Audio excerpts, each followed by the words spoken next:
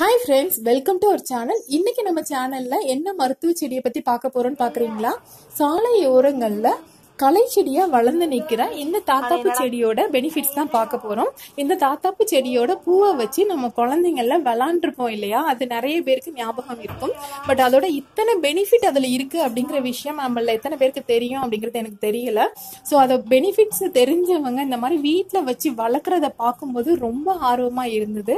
So அதை பத்தி ஒரு வீடியோ போடலாம் அப்படின்னு தோணுச்சு. அதனால தான் இந்த வீடியோ இந்த தாத்தாப்பு செடிக்கு நிறைய பேர் இருக்கு. இது சூரியகாந்தி குடும்பத்தை சார்ந்த ஒரு செடி. இதுக்கு கிணற்று பாசான் மூக்குத்தி பூச்செடி வெட்டுக்காய பூண்டு இந்த மாதிரி நிறைய பேர்ல இது சொல்றோம்.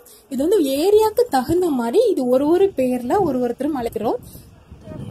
இதுல முக்கியமான மருத்துவ குறிப்பு என்ன அப்படின்னு பாத்தீங்கன்னா வெட்டு காயங்கள்ல இருந்து ரத்தம் வலியும் இல்லையா? சோ அதை உடனே ஸ்டாப் பண்ணும் ஃப்ரெண்ட்ஸ் அதுக்கு இது ரொம்ப ரொம்ப முக்கியமான ஒரு மருந்து.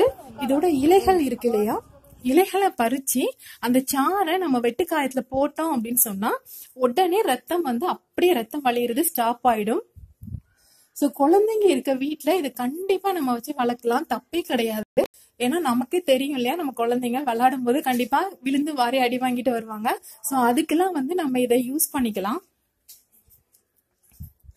அதோட மட்டும் இல்லாம ஆறாத புண்ணு இருக்கும் இல்லையா? அதுக்கு தீக்காயத்திற்கு இதுக்கு எல்லாத்துக்குமே நம்ம இதோட சாறை நம்ம போடலாம்.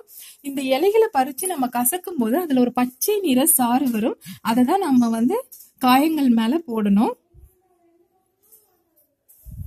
இந்த மாதிரி நம்ம போடும்போது அந்த காயங்கள் நாலே நாட்களுக்குள்ள ஆறிடும் ஃப்ரெண்ட்ஸ் அதே மாதிரி செப்டிக் ஆகிற ஸ்டேஜ்ல இருக்கக்கூடிய காயங்களா இருந்தா கூட இந்த இலைகள் இருக்கு இல்லையா? இதை நல்லா அரைச்சி அந்த காயத்து மேல வச்சு கட்டிட்டே வந்தோம் அப்படின்னு சொன்னா எவ்வளவு சீக்கிரம் முடியுமோ அவ்வளவு சீக்கிரம் காயங்கள் ஆறிடும்.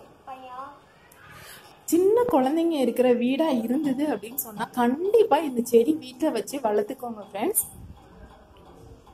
ஏன் அப்படின்னா படிக்கட்டுல ஏறுறேன் இறங்குற இந்த மாதிரிலாம் சொல்லிட்டு நம்ம குழந்தைங்களை பத்தி நமக்கே தெரியும் இல்லையா? சின்ன சின்ன அடிங்கள் இதெல்லாம் படுறது வழக்கம். ஸோ ஒரு ஒரு வாட்டியும் நம்ம ஹாஸ்பிட்டல் தேடி ஓட வேணாம். இந்த மாதிரி செடிகளோட இலை இருக்கு இல்லையா? இலையோட சாறு போடும்போது அதுவே அழ ஆறிடும். அப்புறம் சுகர் பேஷண்ட்ஸுக்கு வர காயங்கள் வந்து ஆறுறதுக்கு எவ்வளோ கஷ்டம் அப்படிங்கிறது நமக்கு நல்லா தெரியும் இல்லையா? அவங்களுக்கு கூட இந்த இலைச்சாரை போடும்போது சீக்கிரமே காயங்கள் ஆறிடும்.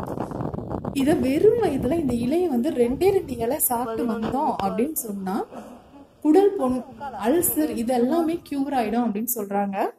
அதே மாதிரி இளம் வயதில் ஒயிட் ஹேர் வருது கிரே ஹேர் வருது அப்படின்னு சொன்னா இந்த இலையோட சாறு கரிசலாங்கண்ணியோட சாறு நல்லெண்ணெய் இது மூணு சம அளவு எடுத்து அதனால காய்ச்சி நம்ம அந்த கிரே ஹேர் மேல போட்டோம் அப்படின்னு சொன்னா நாளடைவுல வறுமையா ஆயிடும். முடியும் நல்லா அடர்த்தியா வளரும். அப்படின்னு சொல்றாங்க ஃப்ரெண்ட்ஸ் ஈரிகள்ல உள்ள ரத்த கசிவு வாய் துர்நாற்றம் இதெல்லாம் கூட இதை நம்ம சாப்பிட்றதுனால போகுது அப்படின்னு சொல்றாங்க. ஸோ சாலை ஓரங்கள்ல களைச்செடியா வளர்ந்து நிற்கிற இந்த செடியோட மகத்துவத்தை நம்ம நல்லாவே தெரிஞ்சுக்கிட்டோம் இல்லையா?